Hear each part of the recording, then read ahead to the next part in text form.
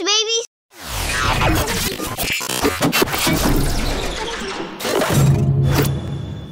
right, today we're working on InDesign and we're talking about placing text over image. So right here I got a, a magazine page where our logos is there and it's like somebody's like, hey, why don't you put a title on there? Oh, okay, cool. No problem. Go grab my text box. It's gonna be called Cool Logos. Right? Let's make it a little bit bigger. Cool logos. Bam, there you got it. But you can't see it because the image and the and the, the, the color of the the text is conflicting with each other. What if I made it white? Still bad. What I like to do is throw a little box over it, under it, should I say. Grab the box, make the box, change the box black. Go to the effects right here. Go to gradient feather.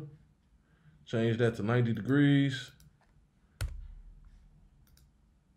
Bam. Drag the rectangle under the words. Bam. There you have it.